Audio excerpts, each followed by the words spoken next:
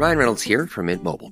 I don't know if you knew this, but anyone can get the same premium wireless for $15 a month plan that I've been enjoying. It's not just for celebrities. So do like I did and have one of your assistant's assistants switch you to Mint Mobile today. I'm told it's super easy to do at mintmobile.com slash switch. Upfront payment of $45 for three-month plan, equivalent to $15 per month required. New subscribers only. Renew for 12 months to lock in savings. Taxes and fees extra. Additional restrictions apply. See full terms at mintmobile.com. Hey, I'm Mishy Harman, and from PRX, this is Israel Story. Israel Story is produced together with Tablet Magazine. So, last episode we met couples in love. But for every love story, of course, there are many, many more tales of broken hearts and teary eyes. And that, ladies and gentlemen, is our theme today.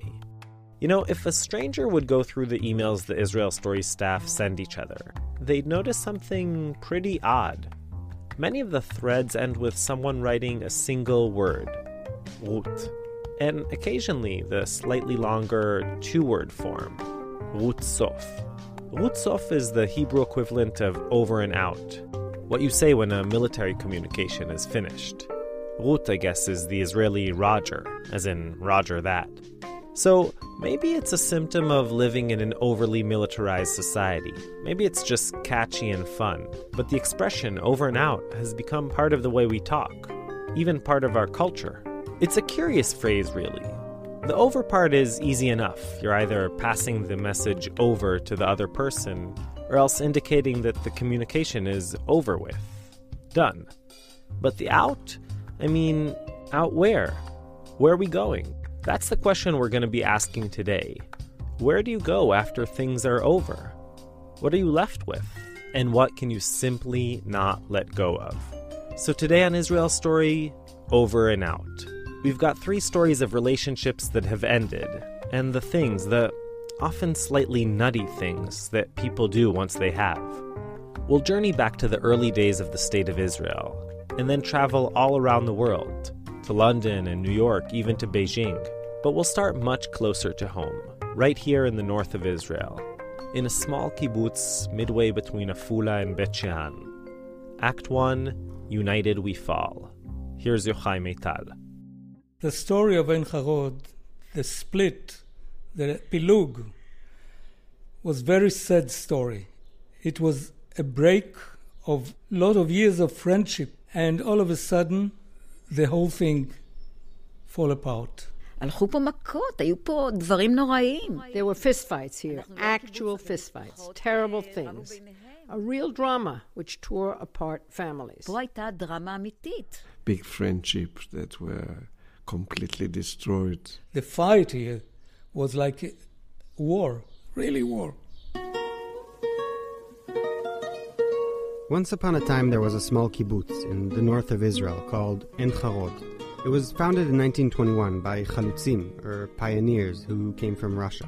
En Harod was the uh, first kibbutz to be in this place, in the eastern side of Emek Israel, Israel Valley.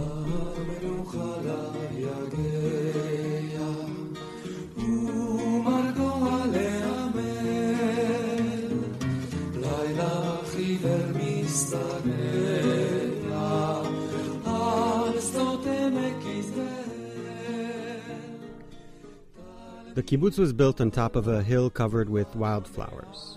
Right below it was a wide valley with green fields, and in the distance, the Gilboa mountain, where King Shaul and his son Yonatan were slain in the biblical battle with the Philistines, towered above it all.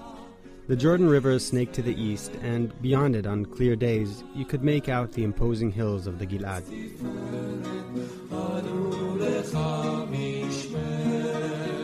The members of En Harod weren't each other's neighbors. They were family. They lived a completely communal life, tilling the land together, going out to the battlefield together, raising their children together. Three times a day they would gather in the Cheder Ochel, the dining hall, for communal meals. And on Friday they'd mark the end of the work week with some singing, dancing, and a drop of cheap brandy. This serene idealism went on for more than 30 years. But then one day, in 1952, it all came to an abrupt end. to understand the rift that tore apart this tight knit community and changed it forever, we need to go back to the early days of the state. Though they never represented a large segment of the population, kibbutzim were the golden boys of the Zionist movement. They stood for self sufficiency and might, and their members, tan and strong, were the epitome of the new Jew, the Tzabar. Right after the establishment of the state in 1948, Israel found itself fighting for its survival. Most male kibbutzniks joined the fight, forming the backbone of the armed forces, and they paid a very heavy price. 12% of the casualties of the War of Independence were kibbutz members. The war destroyed a lot of things internally, psychologically. That's Muki. Muki Tsur. I am a member of Kibbutz Ein Gev for the last 60 years. And a leading historian of the kibbutz movement. You know, people who had dreams, you know, like to make a revolution, a Pacific revolution, to create a society by, by voluntary uh, organizations, to create a new world, and they found themselves in war. And people find themselves with uh, death, destruction, personal fears. They were regular people, went to the war. And when they came back from the war, the state had no time for them because huge immigration came into the state. In the early 1950s, just as Israel was trying to recover from the devastating violence and get on its feet, a massive wave of immigration from North Africa and the Middle East flooded the country. The government was totally focused on the mammoth task of absorbing them. Imagine today people are scared of immigration to Europe. And they say, one million, how can we absorb one million? It will break Europe. And then you have a society that had to absorb one and a half the quantity of people who were living there. The state had no time to deal with the old voluntary society, you know. Now, maybe, as Muki says, the state had more pressing matters to deal with. But its legendary leader, Prime Minister David Ben Gurion, found the time to lash out against the kibbutzim. In a speech he delivered in the Knesset, Israel's parliament, in 1950, the old man, as he was fondly called, didn't hold back any punches. Where's the kibbutz movement when it comes to helping out with immigration? he asked. They've done so splendidly for themselves. But what have they contributed to the task of absorbing the new aliyah? I'm deeply ashamed of the kibbutz movement. This statement triggered a heated debate within the kibbutzim. It was part of a much larger clash between various different political parties in the new country's left and center. The irony was that, all in all, they were pretty similar. I mean, much closer to each other ideologically than they were to, say, Jabotinsky and Begin's revisionists. But as often happens within groups with similar ideologies, the internal disagreements, even on minor points, can get out of hand and cause tremendous ruptures. Just think of the history of the Christian church, for example, or the backstabbing between Trotsky and Stalin. As you can imagine, there were countless divides within Israel's early socialist movement. It's really complicated. But in broad terms, there was a split between Ben Gurion's supporters, members of Mapai, the historic Labor Party, and the more left wing parties, Achdut Avoda and Mapam, who saw themselves as the true bearers of socialist Zionism. In some ways, it was a local version of clashing Cold War ideologies. Ben Gurion was steering the country towards the west, while Ein Harod's own Yitzhak Tabenkin and other leaders of the kibbutz movement, many of whom immigrated from Russia, glanced eastward with admiration. They looked up to Stalin and saw Ben Gurion's maneuver and harsh rhetoric as a crude attempt to solidify his rule and discredit any ideological adversaries. Ein was in the eye of the storm. Most of the leader of the Kibbutz Meuchad were mm. in Ein Harod. Ein Harod was the capital city of the Kibbutz Meuchad. That's Israel Smilansky. I'm a native. I was born in this kibbutz. Israel's 84, a retired farmer and former music teacher. He boasts that five of his 16 grandchildren still live on the kibbutz. But 65 years ago, when all this ideological turmoil was taking place, Israel was just a young soldier. In 1952, after he was discharged from the military, He came back to a home he could barely recognize. The kibbutz was in two groups that couldn't speak to each other.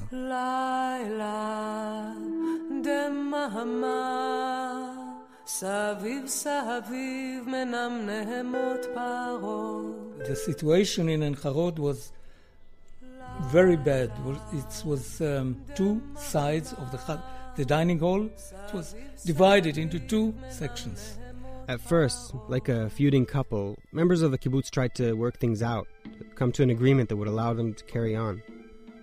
But the arguments just became louder and louder, and the two factions drifted apart. An actual line was drawn down the middle of the Cheder Ochel, the very heart and symbol of communal life. And that simple white line had the power to split close friendships and even families.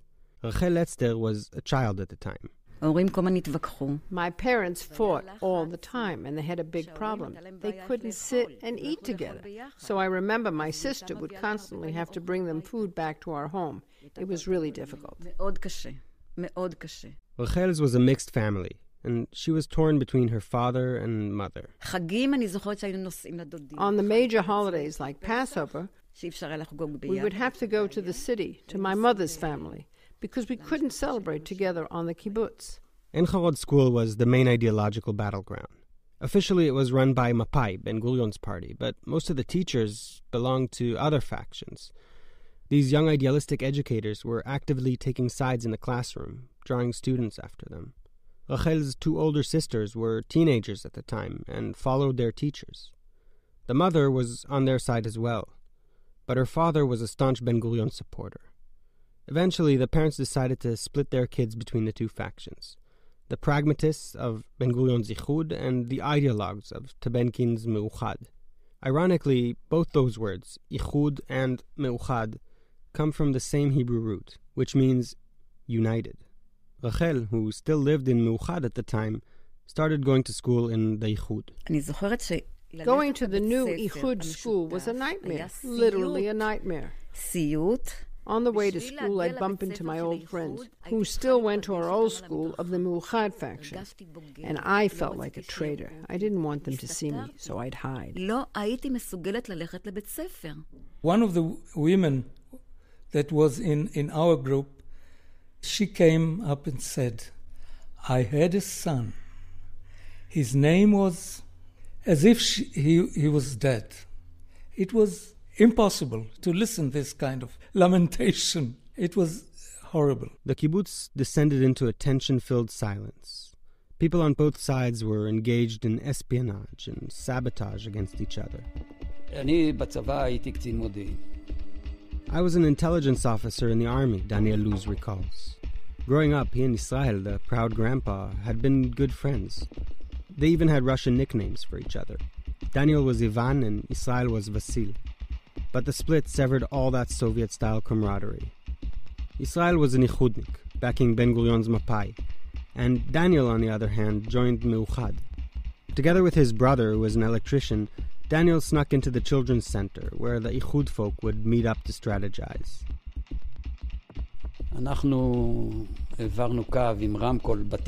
We had a wiretap in the ceiling, and we would sit in the shower and listen to their headquarter meetings. That way we knew what they were planning and what they were up to. Later, the Luz brothers ransacked the place.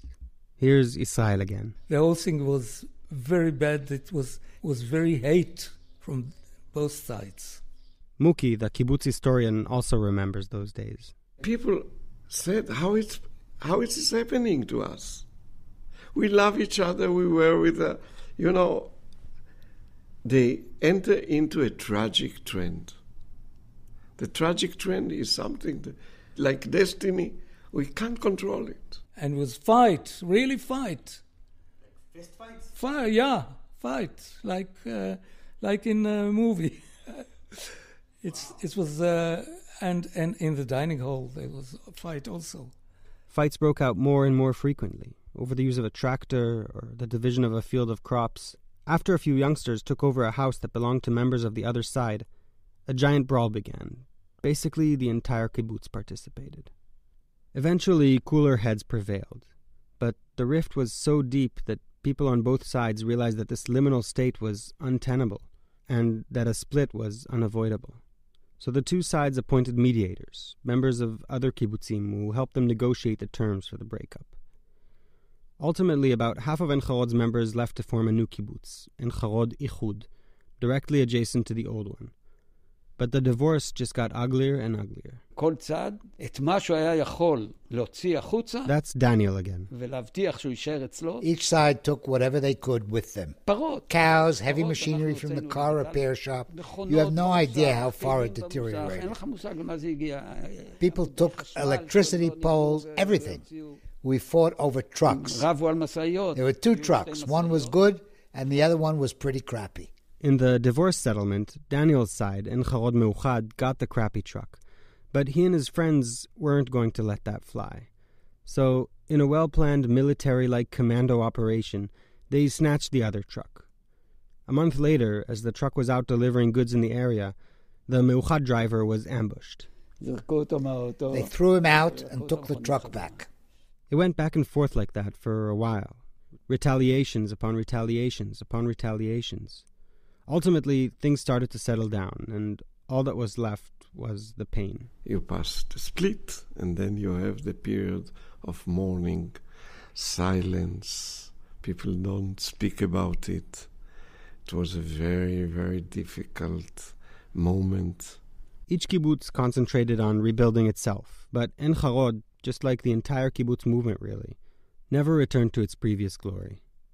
With time, the open wound morphed into a nagging scab, which the old timers at least will carry with them to the grave.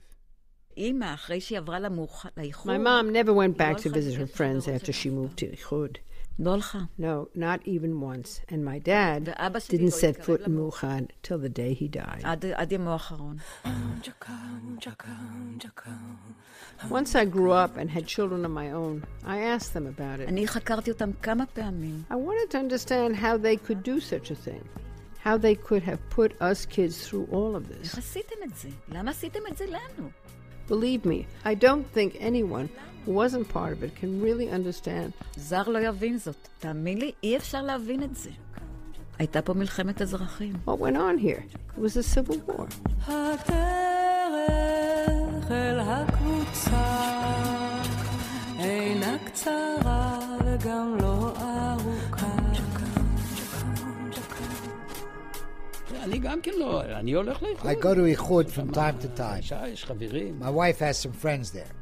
But if they have some sort of performance, say in the dining hall, I don't go.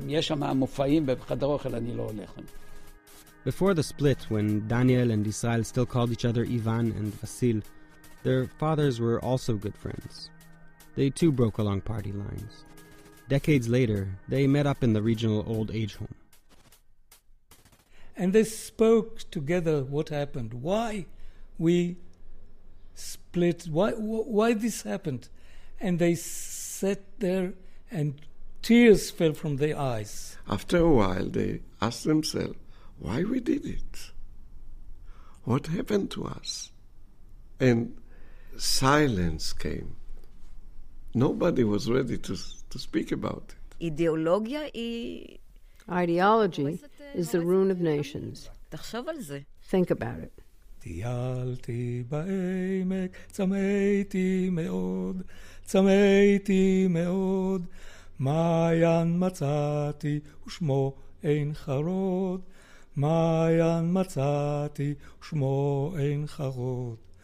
לא אלך הלאה, כי פה אעמוד, כי פה אעמוד. פה טוב לנוח ופה טוב לחיות. פה טוב לנוח, כי פה אין חרוד. Yochai Maital is the senior producer of our show. Encharod's story, that fierce ideological split that tore the community apart and seems so inexplicable to us now, wasn't unique.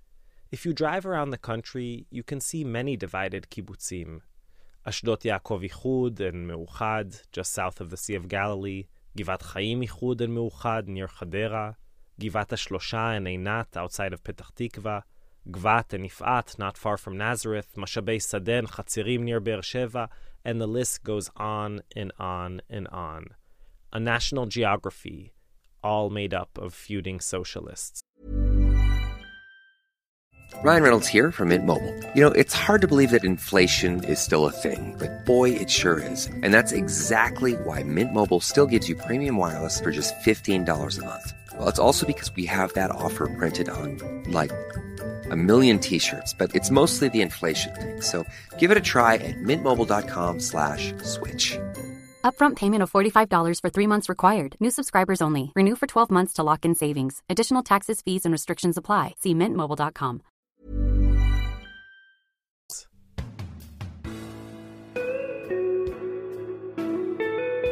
Our next story looks at breakups from an entirely different angle.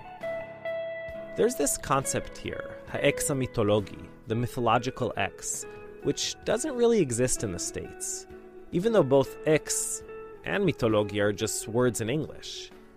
I guess the closest would be the one that got away. But the mythological ex is different. Unlike the one that got away, it isn't someone you sort of wish things would have turned out differently with. Actually, many times when you think about your mythological ex, you're delighted things didn't work out. You sort of feel you dodged a bullet. That brings us to Shoshi Shmuluvitz's story.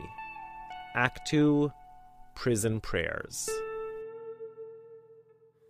I'm sitting on my couch with Jonathan, a skinny, ultra Orthodox Jewish convert with a long, wispy beard, sharp cheekbones, and big, expressive eyes.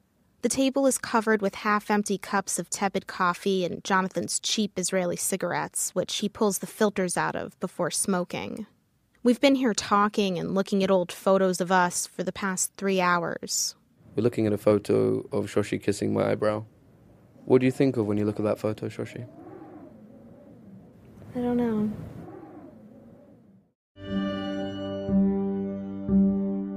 What does our relationship our first love, which in some ways never really ended.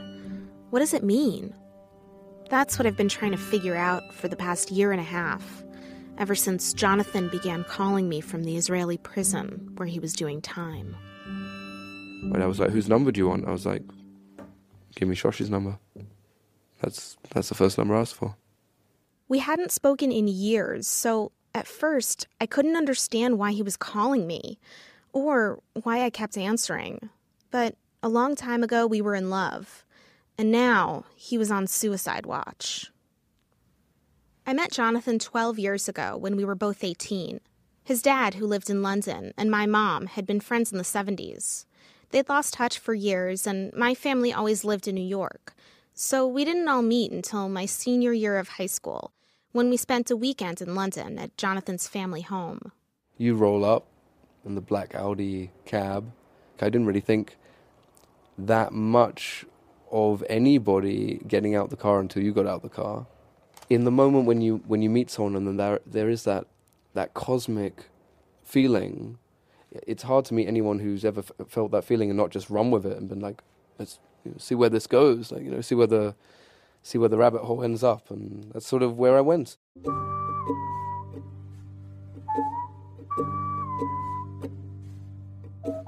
From that moment until I left London, Jonathan and I were inseparable, which was surprising. I was painfully shy, sheltered, and very studious. Jonathan was a charismatic prep school dropout with dreadlocks and a smoking habit. We all spent that weekend touring the London Eye and the British Museum, sampling the chip shops. We'd pile into Jonathan's dad's minivan, Jonathan and I sitting way in the back, oblivious to anyone else. Neil Young's Harvest Moon was stuck in the CD player, and it became our soundtrack.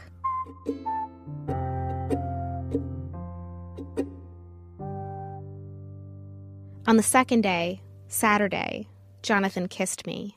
We were making out, and I went and slipped a couple of pills. What What is that you're taking? What are you taking right now? And you were like freaking out. I remember this. I was like, No, I'm taking um, like a sleeping tablet. And I, I, lied straight to your face, and I was like, "Yeah, I'm taking a sleeping tablet." You're like, oh, okay. And I was like, "All right, fine."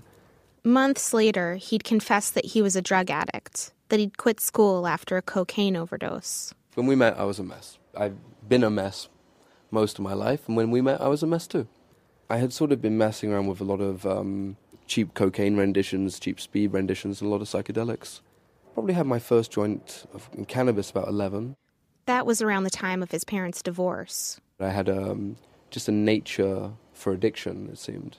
And I, I, feel that a lot of things in my life, not just drugs, I, I have a, a, a, tendency to become addicted to them in a very deep way, like whether it's you know my magic tricks or music or, or even my spiritual life. So with women as well. But that weekend, at least, that one little Valium was the only thing he took.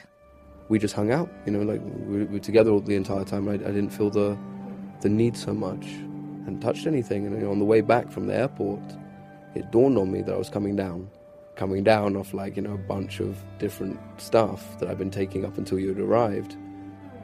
That was the last time that I touched anything like that for the remainder of the time that we were together until we broke up.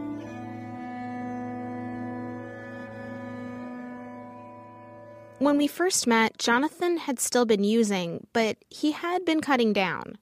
The worst of his drug use seemed to be behind him. And he had hope for the future. He had just gotten his high school equivalency and been accepted to nursing school.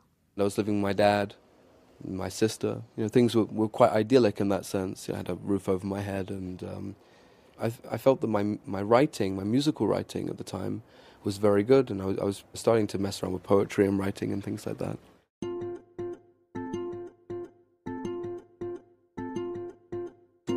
When I got back home to New York, Jonathan and I began talking on the phone a lot.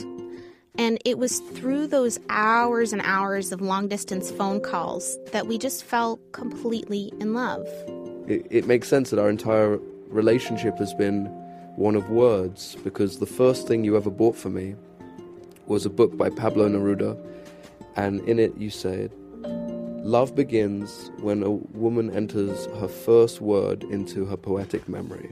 I stole that from Milan Kundera. That's what's the inscription that you wrote inside that, that book.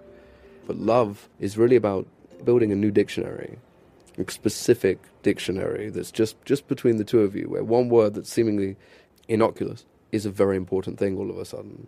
For us, it was, it was very much the, the speaking and, and listening to each other. I think first time we'd had a friend who was prepared to listen to all the BS in our brains and in our hearts. After two months of that, Jonathan landed in New York. It was early June, my last month of high school. I cut class and took Jonathan to ride the cyclone in Coney Island. He bought me a corsage and took me to prom. It was dreadful, but I looked great. You know, I was turned up in, in my tuxedo and my dreadlocks. Just looked completely ridiculous. And you looked like something out of a 1950s like uh, romance movie. When we walked into that ballroom, jaws literally dropped pretty much anyone who saw us together was taken aback. We seemed like such opposites. But once they got to know him a little, everyone loved Jonathan. He was charming and kind, and my parents treated him like one of the family. He left on the day of my graduation, which I skipped so I could see him off at the airport. Two long weeks later, I was on a plane. We spent most of that summer at Jonathan's dad's house in London. One morning, we went to Hampstead Heath, ate an entire lemon meringue pie for breakfast, and then skipped across the lawn shouting, and they were blissfully, blissfully happy forever and ever and ever. It was a line from a series of very silly internet videos called Tales of the Blowed. But we believed it. We were 18 and we were so sure we'd always be together and that as long as we were together, we would be as happy as we were in that moment. Full of love, full of pie, in a beautiful park on a beautiful July day in London. We were sure of it despite his parents' divorce and my parents' lackluster marriage. We were sure of it because before we met, he was a drug addict and I was so lonely. And now he was clean, I was connecting with people. Together, we'd undergone an almost magical transformation.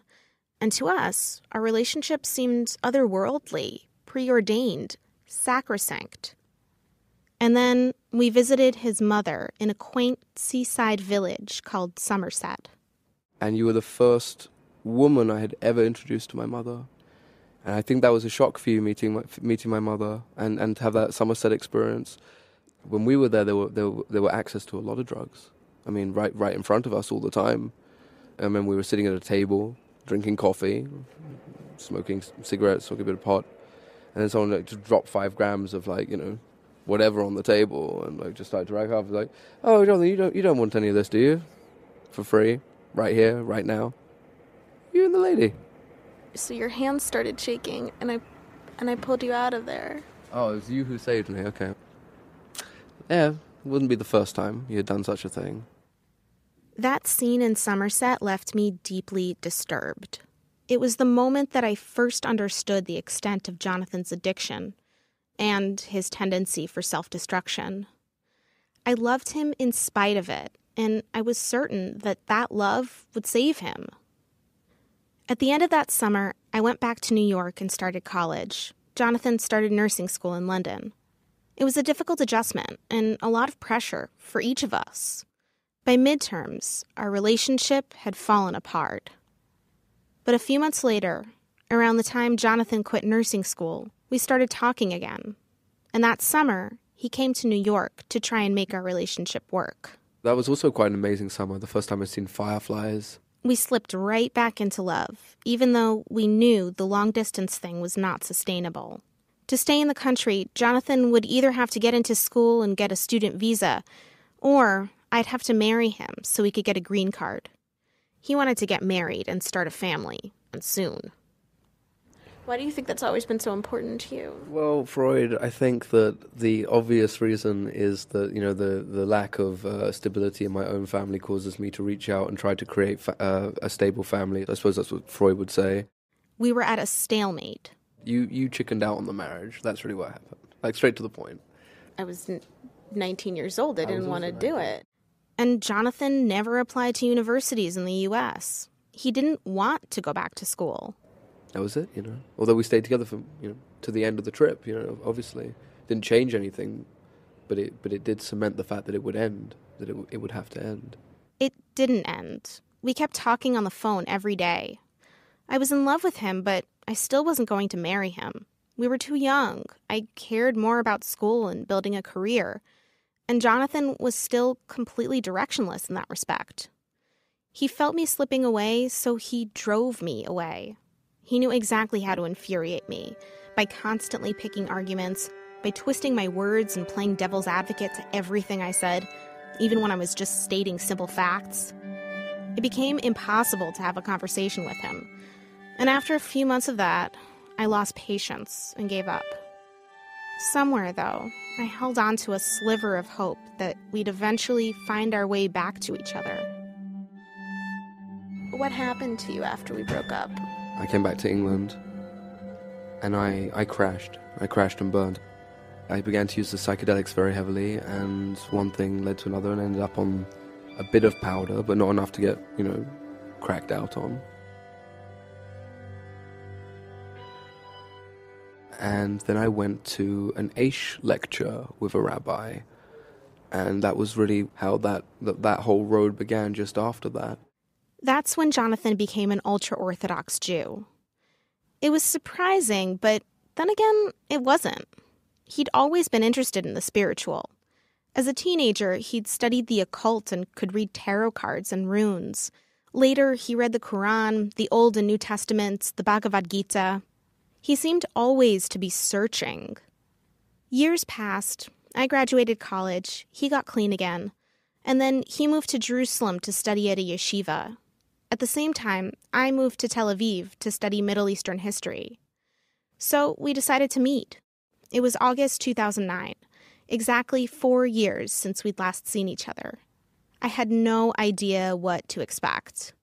Now that he was ultra Orthodox, I didn't know what he'd look like, or how I should greet him, whether he was Shomer Negia and avoided contact with women. He met me on Ben Yehuda Street wearing black pants, a white button down, and a beret instead of the traditional black fedora. He'd grown a scraggly beard and side locks, which he tucked behind his ears. And, you know, we gave each other a big hug, and we sat on the beach under the full moon, listening to random pieces of music on each other's iPod, and that was a very, very intense moment. That old chemistry was back. Yeah. It felt like nothing had changed between us, and despite his new look, he was still Jonathan. We sat up all night on that beach, talking until just before sunrise. And in that moment, anything could have happened. And nothing happened. Not, not so much as a kiss happened. Because even though it was the first time we were living in the same country, we were further apart than ever. We didn't just have different values and goals in life, now, he was religious and I was secular, and neither of us would change. But that night, even though I realized that we would never get back together again, all the old feelings had flooded back. I expected closure from that meeting, but I came away racked with confusion. It should have been a post mortem of our relationship, but instead, it had turned into an epic date. A date with someone I had serious feelings for, but who was completely unsuitable for me. After that night on the beach, Jonathan and I stopped talking again for years. I went through a very dark time after that. I, we, we, sounds like I'm just always in a dark time. There were many years in between that, that relapse and, and the other one. That, that was like, you know, I I was just drinking a lot and very depressed. And then I met my first wife online on a poetry website that she had created and uh, she liked one of my poems. So we got chatting. Tamar was 19 years old. She came from a family of Messianic Christians who had all converted to ultra Orthodox Judaism and moved to Israel. We had a lot in common that we both didn't really have much of a academic education, but both very much enjoyed learning things. And we had a very, very deep attraction to each other from day one.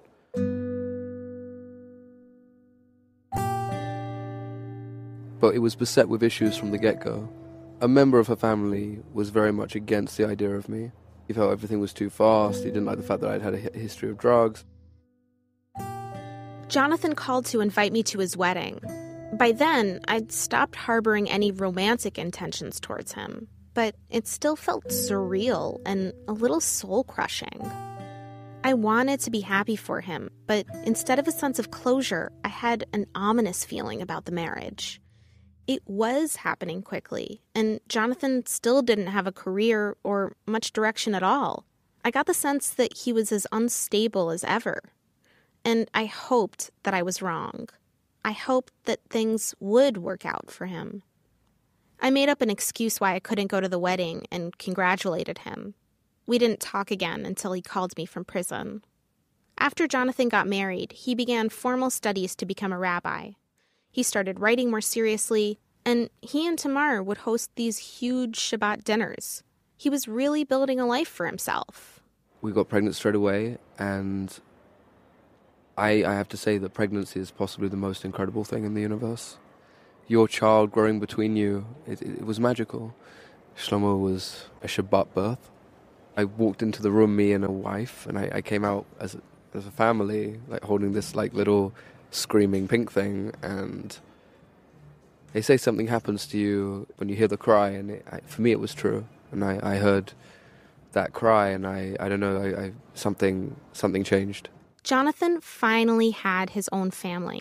It was exactly what he'd always wanted. And then I destroyed my marriage, basically.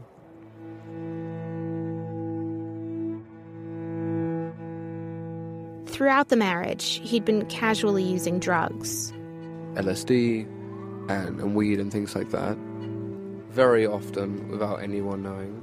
It became more serious when he began suffering from back pain. And then I started taking the, the Oxycontin and just about anything else that had opiates in it, and smoking a lot of those, and mixing that with, with high levels of LSD and things like that with Valium or with Ritalin and with psychiatric medicines and with anything else I could get my hands on.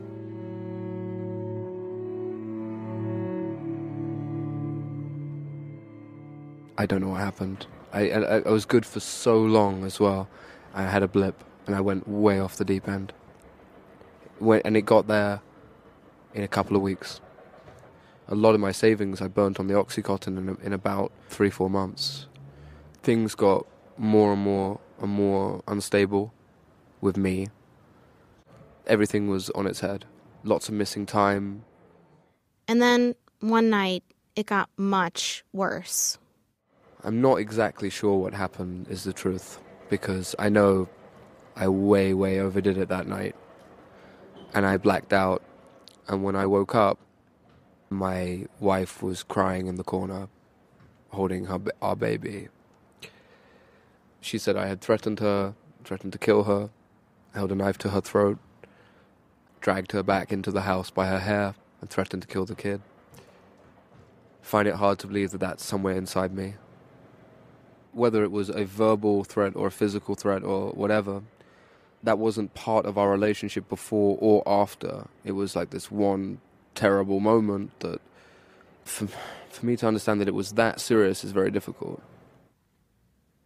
Tamar took the baby and went to stay with her parents. Within a few days, Jonathan patched things up with her and she came back home. He tried to cut down on his drug use. Things seemed to be getting at least a little bit better. Until six months after that awful night, Tamar and Jonathan had an argument. I stormed out. I got a call from the police that they were at the house with my wife, and I thought I naturally assumed something had happened. She'd hurt herself, and so you know, I didn't realize I was going to get arrested. I don't think she really realized I'd get arrested either. Tamar had told the police about the incident that happened six months before. They arrested Jonathan for domestic abuse, and they told him that he could get a maximum sentence of 10 years. And he believed them. For 10 years, I wasn't going to see the sunlight. I wasn't going to live by myself or, or, take a walk in the street or, or hold my boy for 10 years. So I, I ruined my, my best chance of having a normal time in prison by trying to kill myself. And that's when he started calling me a few times a week, when he was on suicide watch. I'd never known Jonathan to be violent, so when he told me what he was accused of, I was shocked. It was July 2014, the height of Operation Protective Edge, the latest round of fighting in the Israel Gaza conflict. I was working as a journalist, and as soon as the war broke out, I went from covering concerts and conferences to protests and funerals. I'd go out and interview people whose relatives had been killed, people who were filled with grief and despair and rage.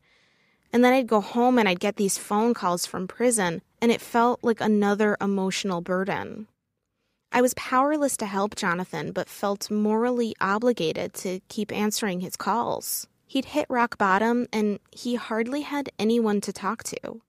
After what happened, a lot of his friends in Israel just abandoned him.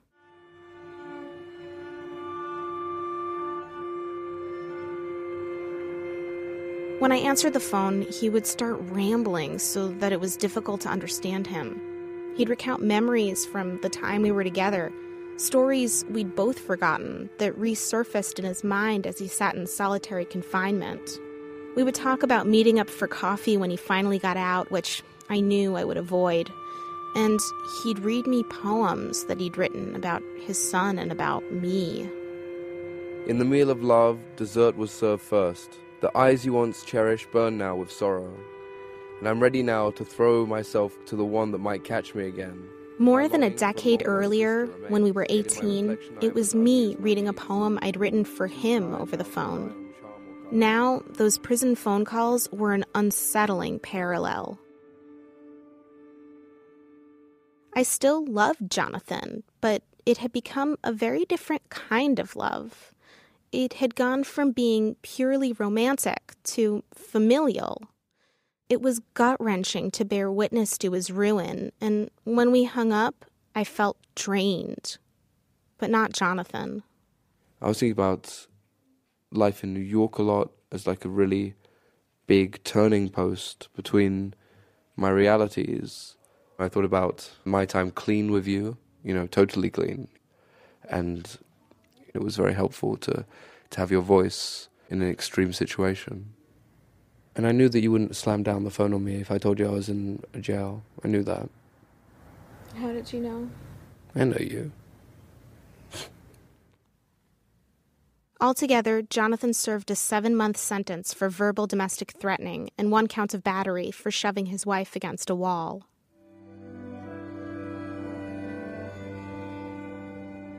The first day out of jail was so so powerful. I was down in Yaffo in Tel Aviv looking at the sea.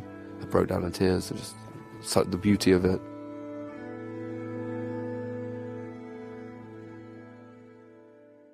A year later, he was on my sofa, and we were looking at that old photo.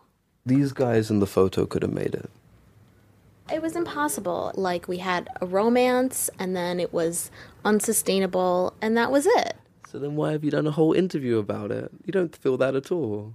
That's complete and utter junk. Who are you kidding? It's one of the defining romances of your life. Yes. Okay. I'm okay with saying that.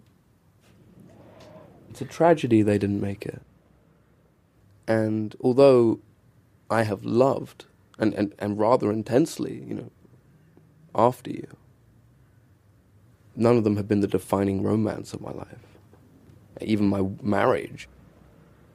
That's why you're the first person I called from jail. That's why you're doing an interview. That's why we don't meet up.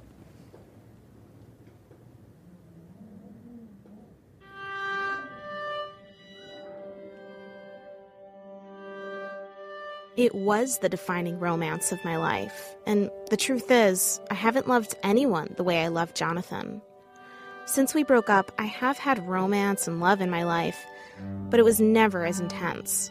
I don't know if that's because of who Jonathan is, or because of the mysterious connection we've always had, or simply because he was my first love.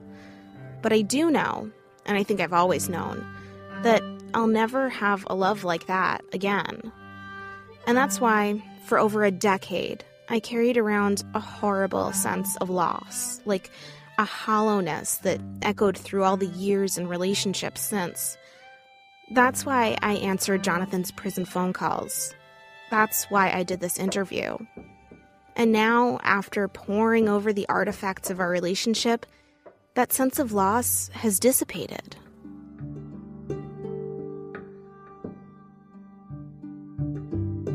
By saying out loud how big our love was for me, it's now somehow easier to just hold it. Not clinging, but also not pushing it away. Jonathan helped me do that. Now we're friends. And he's right. Wherever he is, whatever's going on with him, I'll always pick up the phone.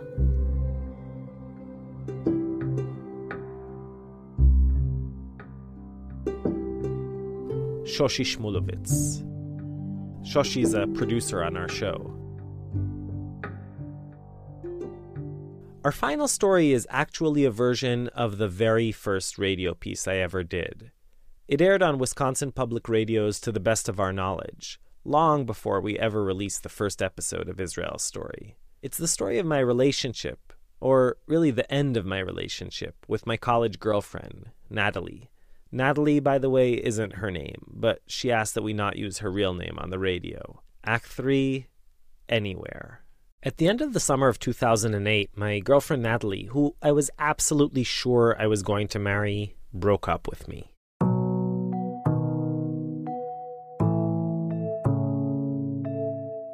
It was kind of surprising and totally one sided, and mainly just devastating. And what's more, after nearly two intense years together, it was over the phone. One of the things that she said in that last fateful phone call was that I wasn't flexible enough.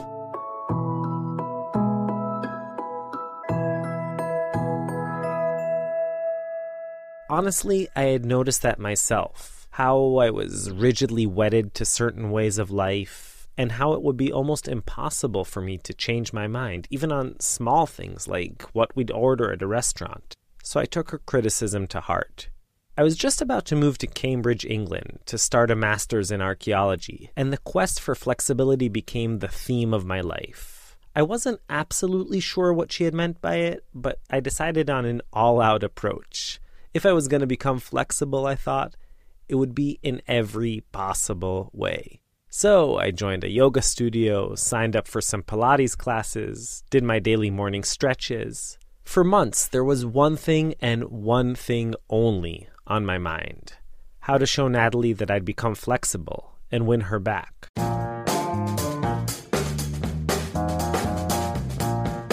Now, I knew, of course, that her complaint didn't really have to do with the fact that I couldn't touch my toes.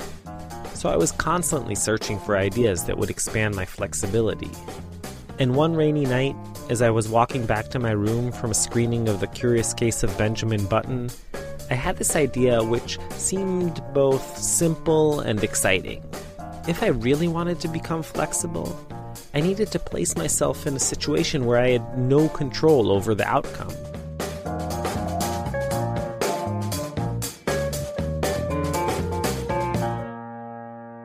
By the time I reached my room, I'd thought of the perfect solution.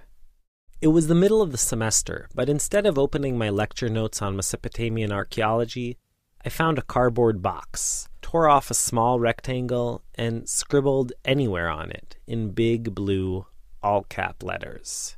I threw some clothes, a tent, and a sleeping bag into a backpack and went outside. My idea? To hitchhike to, well, anywhere.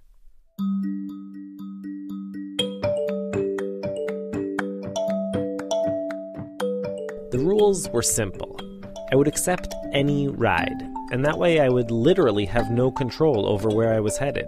Or at least that's what I told myself.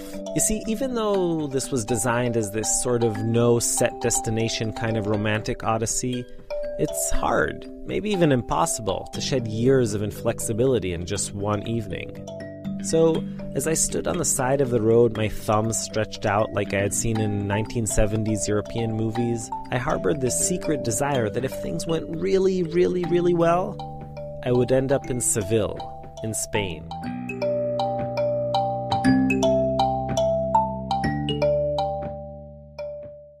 The Seville dream wasn't entirely random. Growing up, my older brother Oren had told me about his favorite paradox. It's about a barber from Seville who shaves all the men in town who don't shave themselves. Maybe you've heard of it.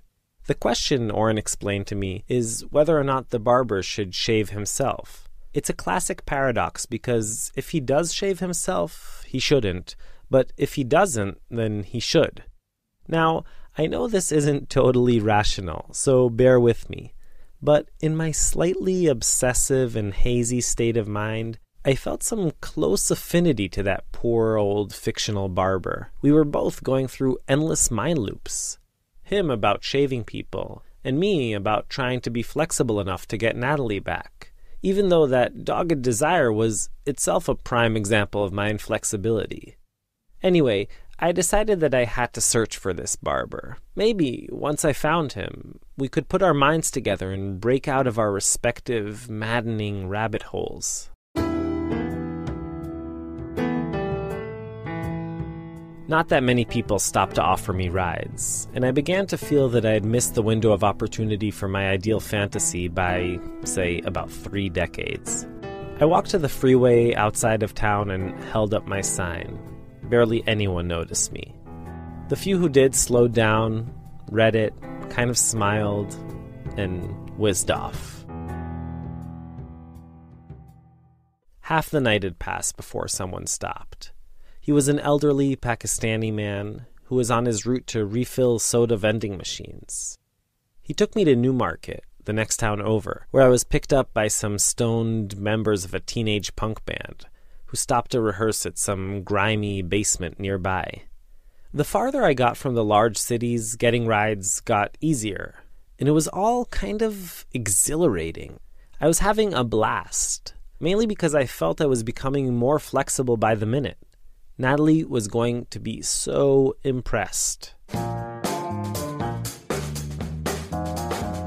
Almost immediately, it dawned on me that Natalie would only be impressed if she knew about my journey.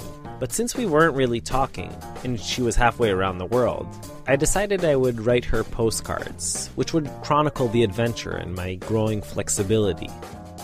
There would be one postcard a day, telling her everything I saw and learned, But quickly, too much was happening for just one daily dispatch. And I found myself writing two, three, sometimes even four, five, or six postcards a day. Now, I was definitely not exactly stable, but I also wasn't crazy. And even in the middle of it all, I realized that she wouldn't really appreciate receiving dozens and dozens of unsolicited postcards from me. So I started keeping them, stamped and ready to go, in a large manila envelope in my backpack. In my imagination, which was in overdrive mode throughout the trip, I would present her with the whole bundle one day, and she would read them and see just how much I had missed her and melt. I was also going to give her another gift. On the flip side of my Anywhere sign, I wrote in the same big block letters, I love you, Natalie. And I did that because I figured that I was meeting so many strangers from so many different places that I would take snapshots of them holding up the sign and then make an album with a whole world worth of people expressing my undying love.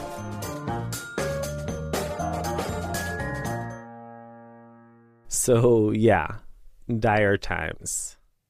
About a week into my trip, somewhere in Kent, I got into a van of gypsies who were heading to Holland. They smuggled me onto the ferry from Dover in England to Calais in France, which seemed like a big step towards reaching my barber in Seville. Once I was on the ferry, I snuck into the truck driver's cafeteria to see if any of them were going to Spain. Plenty of them were, in fact, heading there, but no one seemed to want company.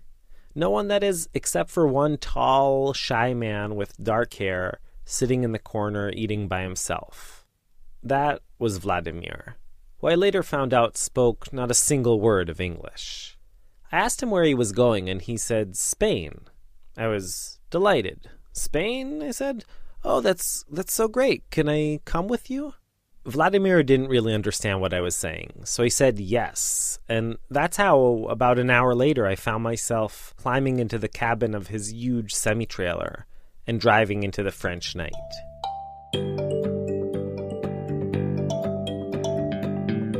After Vladimir said, George Bush, George Bush, we more or less exhausted all our common vocab and continued in complete silence. Half an hour later, I suddenly noticed that Vladimir took an unexpected left hand turn into Belgium. I looked at him and sort of anxiously pointed south, yelling out, Vladimir, Spain, Spain. But Vladimir, who never seemed to get too excited about anything, just looked at me, a bit confused, and with some sort of a deadpan seriousness just said, No, no Spain. Ukraine.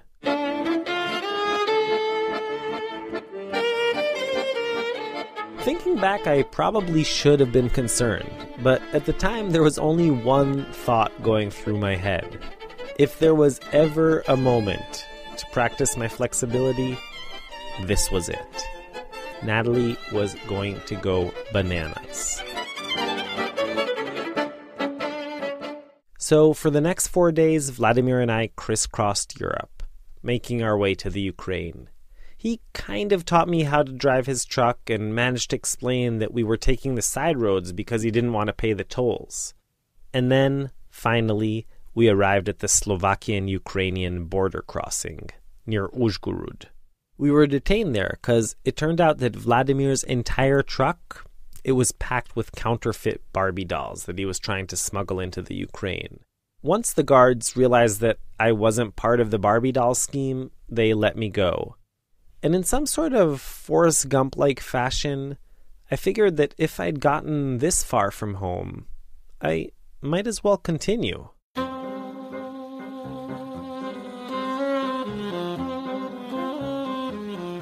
So I traveled all over the Ukraine stayed with Chabadniks in Odessa, with Bratslav Hasidim in Uman, and even saw the former centers of Eastern European Jewry in places like Lvov and Kamenets-Podolsky. It was the end of the winter, and I remember everything looking pretty drab and depressing. At night, I would stay in cheap inns or hostels, or with families renting out a room, or even a sofa, for the night. I ate a ton of potatoes in every possible shape and form, all in all, I was quite lonely.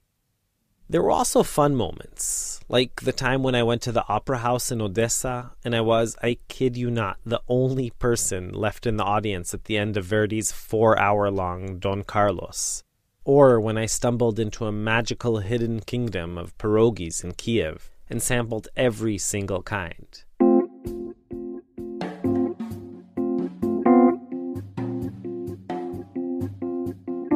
Ended up in Moscow, where I got off at the central train station and boarded the Trans Siberian Railway, which crossed all of frozen Siberia, Mongolia's Gobi Desert, and stopped, seven days later, in Beijing. There were almost no tourists on the train other than me. It was mainly Russian farmers going from one small village to another. And every night they'd throw the wildest vodka parties in the sleeping cabin. The train would make a whole bunch of stops each day, and I would run out to the platform and snatch some pictures of locals holding up my I Love You Natalie sign. The pile of postcards also continued to grow. But more than anything, I really did start to listen and become a bit more flexible.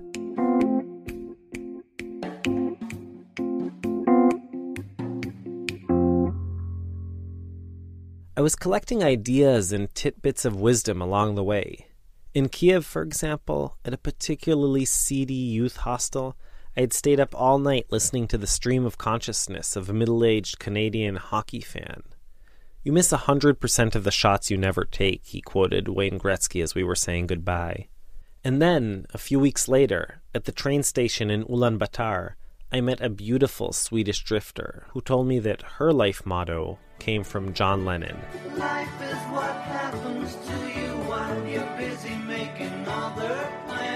It was almost Passover when we finally pulled into Beijing, and I went to a Chabad Seder at some huge function room in one of the fancy hotels. I sat down next to a gorgeous Israeli girl, Maya, I think her name was, and began telling her about my hitchhiking adventure. She seemed very enthusiastic, and by the end of the evening asked me if I wanted to continue the Odyssey, together and hitchhike with her to India. I didn't know what to say. Even though I had become completely swept away by the trip, I had never forgotten why I had set out on it in the first place. But could it be, I thought to myself, that this whole journey would ultimately lead me not back to Natalie, as I had hoped, but rather to opening up a new chapter with someone else? There was something both bitter and poetically ironic about that thought. I took down Maya's email address and told her I would write the following morning. Now, remember, this entire trip took place in the middle of my semester. I hadn't told any of my professors, and whenever they'd email me to ask where I was or how my thesis was going, I would reply that we must have just missed each other in the department, or something like that. But with Maya's offer, I began to wonder who really needed a master's from Cambridge anyway. I drafted a long email to my advisors saying that I wasn't coming back. Luckily, I didn't send it right away. The very next day, I met up with Maya to go over some logistics. And then, completely nonchalantly, she said, yeah, and we can stop in Tibet on the way and pick up my boyfriend, Udi. I was like, Your boyfriend, Udi? Udi, and the fact that I was getting a bit tired of this vagabond lifestyle, all seemed like a sign to me. Go back to the real world, it was saying, and to your boring thesis about proto Israelites and pig bones. For once, I listened. So I hitchhiked to the Beijing airport and asked the Chinese travel agent for a ticket on the cheapest same day flight going anywhere west of there. He started typing into his computer and then looked up with a grin. He informed me in broken English that I was very lucky because there were still tickets available on a cheap flight leaving a few hours later to Europe. Oh, that's wonderful, I said. Where's it to? And he looked down at the screen and then back up at me and said, Spain. So, despite the very long detour, I did end up in Seville, and I did go looking for a local barber. When I found one, he couldn't have been farther removed from my fantasy. I had pictured this fat, balding Spaniard called Juan Carlos or Pedro. I thought he'd have a huge mustache and would spout out words of wisdom about life within a paradox. But in reality, the barber's name was Mustafa, and he was a 20 year old recent immigrant from Algeria who had no idea what I was talking about. The Andalusian music I had imagined as the backdrop of this meeting turned out in the real world to be Celine Dion's theme song from Titanic.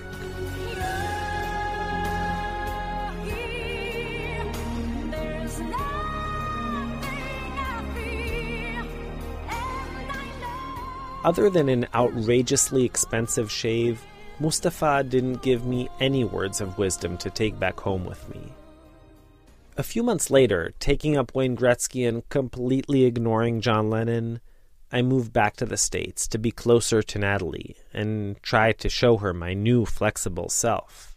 And on her birthday that year, I invited her over to my place to present her with my labor of love an album with pictures of more than a hundred people all over the world holding up my sign. A whole world of people, all the way from Senegal to Afghanistan, telling her how much I loved her. On the shelf in my room, carefully tied up with blue string, was the pile of postcards I had written to her. I thought I would bring them out at the most climactic moment of our reconciliation. But things didn't quite turn out that way. She opened the picture album to some random page with a chubby toddler in Australia holding up a makeshift I love you Natalie sign.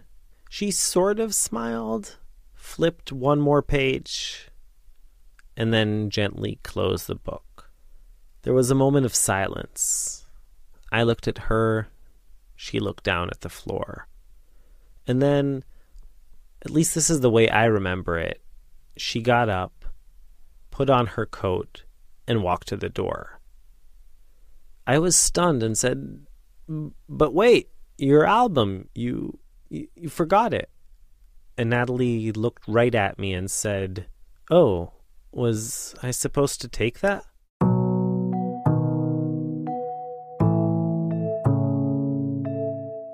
I've seen Natalie a few times since, but that was our last intimate, if you want to call it that, interaction.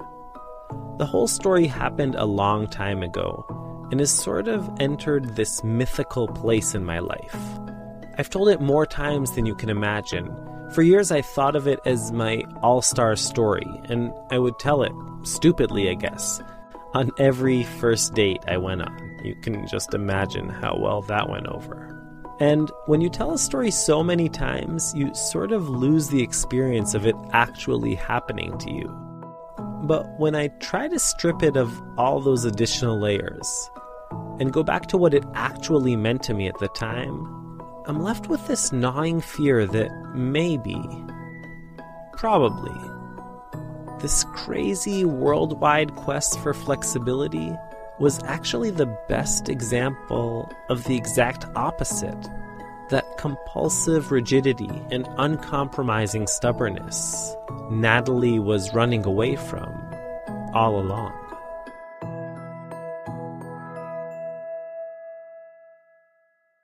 And that's our breakup episode. You can hear all our episodes on our site, israelstory.org, or by searching for Israel Story on iTunes, Stitcher, or any of the other main podcast platforms. You can also follow us on Facebook, Twitter, Instagram, all under Israel Story.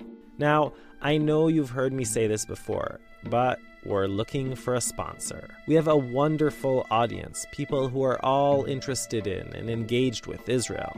So if you want to support our show and reach what has become a lot of people, email us at sponsor at prx.org. I want to thank two very, very important people the most important. My beloved parents, David and Dorothy Harman, who did the voiceover recordings in the kibbutz piece. Thanks, Ima and Abba. Thanks to Hazira Performance Art Arena, who gave us permission to use music from their great puppet drama, The Road to En Harod, and to the musicians Guy Shirf and Rona Kenan. Thanks also to our friends at TT Book, Charles Monroe Kane, Kirill Owen, Steve Paulson, and Anne Strainchamps. Israel Story is brought to you by PRX, the Public Radio Exchange, and is produced in partnership with Tablet Magazine. Go to tabletmag.com slash Israel Story to hear all our previous episodes. Our staff includes Yochai Maital, Shai Satran, Roy Gilron, Maya Kosover, Shoshi Shmuluvitz, and Rachel Fisher. Amir Factor and Itai Hyman are our incredible production interns, and today we're delighted to introduce our newest intern, the talented Katie Pulverman. Julie Subrin's our executive producer. I'm Mishy Harman, and we'll be back next time with a brand new Israel Story episode. Till then, yalla bye, and well, over and out.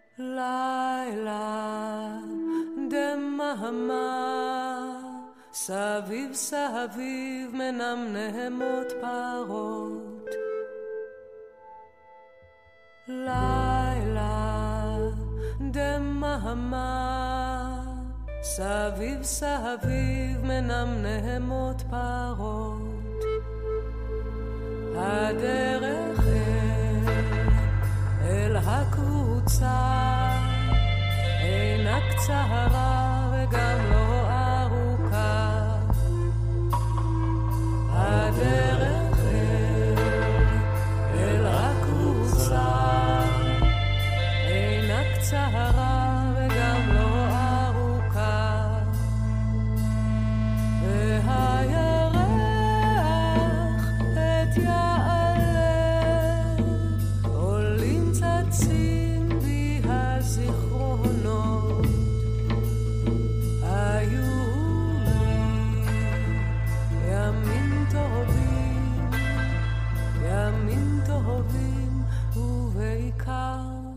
לילות.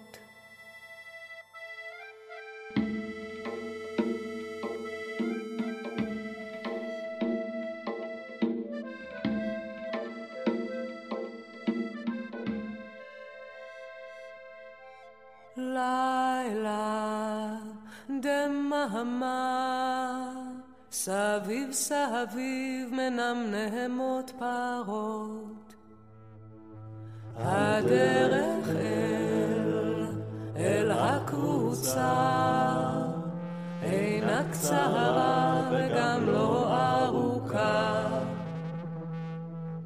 הדרך אל, אל הקבוצה, אינה קצרה וגם לא ארוכה.